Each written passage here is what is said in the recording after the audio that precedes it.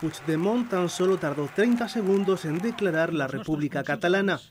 El mandato del pueblo de Cataluña que nos demanda un Estado independiente en forma de república. A luego suspenderla. El gobierno y yo mismo proponemos que el Parlamento suspenda los efectos de la declaración de independencia para que en las próximas semanas emprendamos un diálogo sin el cual no es posible llegar a una solución acordada. Unas declaraciones que sorprendieron en la calle y molestaron a sus socios de la CUP.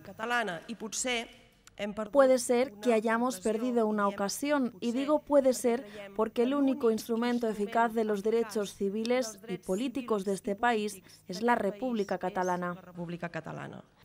Pero con gestos continuaron después del Pleno, con solemnidad y rodeado de los suyos, Puigdemont firmaba la declaración de independencia junto a la presidenta del Parlamento, Carme Forcadell, y el vicepresidente de la Generalitat, Oriol Junqueras. Los socialistas piden elecciones anticipadas porque no creen que el actual gobierno catalán esté capacitado para iniciar un proceso de diálogo. Desde luego, nosotros manifestamos nuestro compromiso de seguir actuando conforme a la ley y siempre en la defensa del Estado de Derecho que hoy regula nuestra Constitución. Ciudadanos, hasta ahora partidario de aplicar el artículo 155 de la Constitución, exige una vuelta a la legalidad como condición para cualquier tipo de negociación, que en cualquier caso dejaría al margen al actual gobierno de la Generalitat.